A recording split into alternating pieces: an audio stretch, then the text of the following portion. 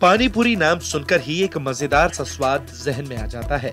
और शायद ही ऐसा कोई हो जिसे पानी पूरी पसंद ना हो। ऐसे में कोई ये कहे कि बस, बहुत हुआ। पानी पूरी पर बैन लगाया जाता है।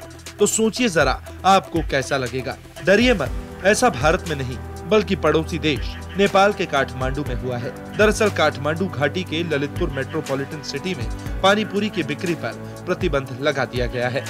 बैन की वजह, घाटी में हैजा के मामले बढ़ना। अब तक हैजा के कई मामले सामने आ चुके हैं।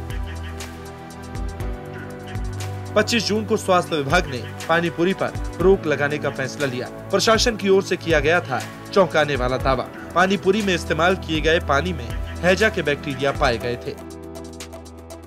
आपको बता दें, बढ़ते मामलों के चलते एहतियातन ये फैसला लिया गया है और नेपाल स्वास्थ्य मंत्रालय लोगों से सतर्क रहने के लिए कह रहा है, क्योंकि डायरिया, हैजा और पानी से संबंधित कई बीमारियाँ विशेष रूप से गर्मी और बरसात के मौसम में फैलती हैं। तो ऐसे में ये फैसला लिया गया है। Times Now Bharat. डिजिटल की रिपोर्ट।